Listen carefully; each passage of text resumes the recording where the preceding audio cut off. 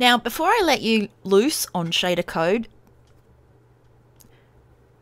now before I let you use Now before I let you loose on Shader Toy and just grab any old shader, there's a few things we should just go through because this is not going to work with every single one as it is, um, and it would have to be extended for more complex ones. But I will just talk to you about a few little tweaks I've made.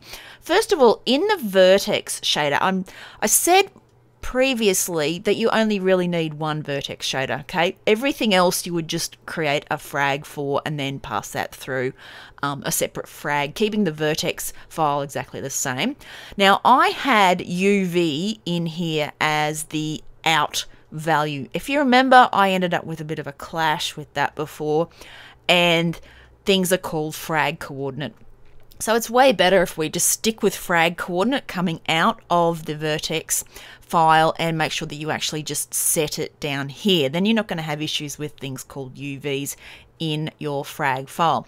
So now over in the frag file, I've got a different one here. Um, this is a jellies frag, which is completely procedural.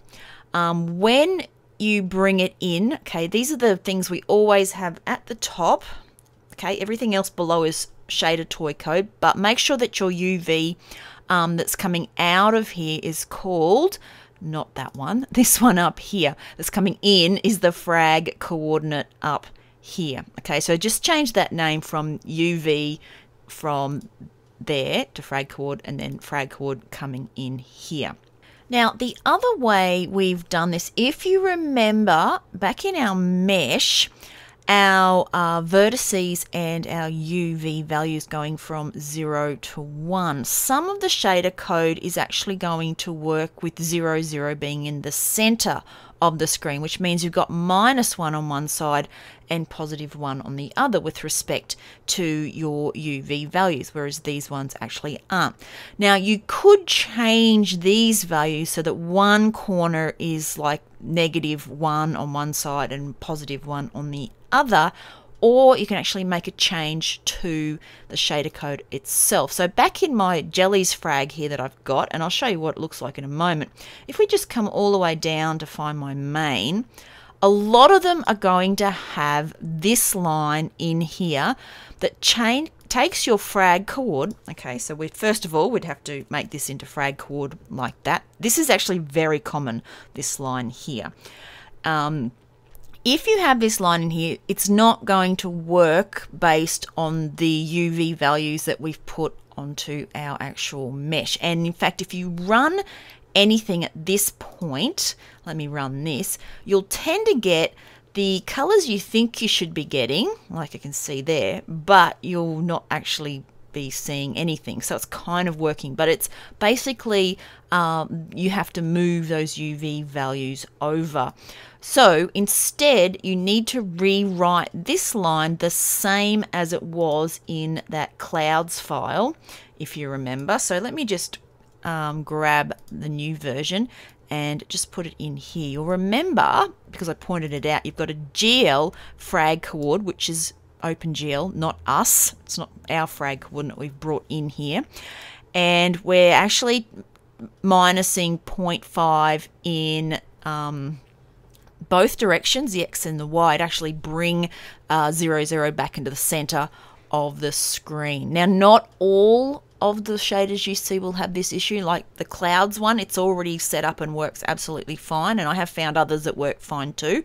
But if you don't do this to the UV value inside of the main. Okay, so while we're here, let me show you how I'm running this. In my uh, main program, you can see that I've got my old vertex shader over here and the jellies frag just here. And if we press play, you'll see that I've got the same colors again. I actually really love this one. Look at this procedural jellyfish. They're just gorgeous.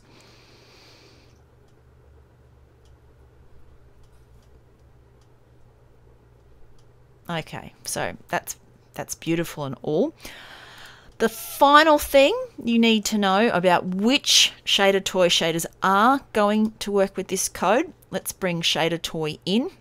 So this is a shader toy here and this is the jellies one that I just used before but let's have a look something else let's go to let's search for clouds which are ones that I actually do quite like and then if we find like this one here that one looks really cool but it has a whole bunch of different buffers and things so this is not going to work in the version of the code currently. You can only go with a shader that has one image file here and there's no input images down here. Okay, so anything that has that down there, nope. Anything with more than the image file up here, nope, not going to work. Okay, so just keep that in mind as you go forward. So there's our like really nice vortex one that does work really well. This one here that looks really cool uh, won't work currently because look, it's got an input file that needs to go into it. So you'll just have to pick and choose until I come back and update these tutorials. But anyway, now you are free to go for it Keep within those parameters and you will be fine. If you'd like to support our work, like us on YouTube, visit our website holistic3d.com, look for our courses on holistic3dlearn.com or support us on Patreon.